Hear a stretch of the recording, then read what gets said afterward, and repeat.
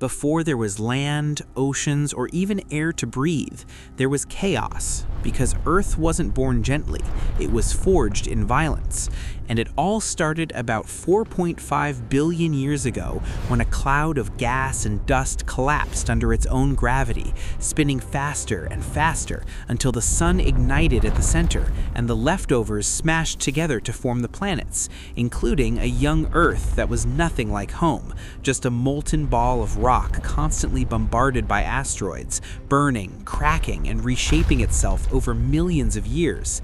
And one of those impacts changed everything when a Mars-sized object slammed into Earth, blasting debris into space that later became the Moon, stabilizing Earth's spin and setting the stage for something extraordinary.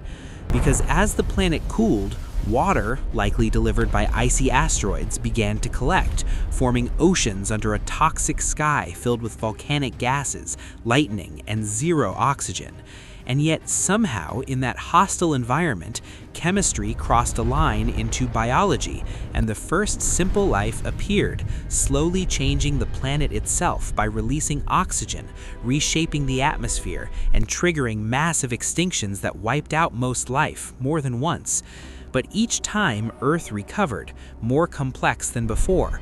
Continents drifted, climates shifted, ice ages came and went, and eventually a thin layer of life spread across the surface of a once lifeless rock, meaning every tree, animal, and human is the result of billions of years of accidents, collisions, survival, and change.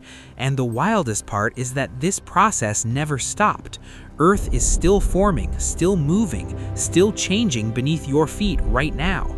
So when you think about how Earth came into existence, remember this. You're standing inside an unfinished story that began with fire, and it's still being written at this very moment.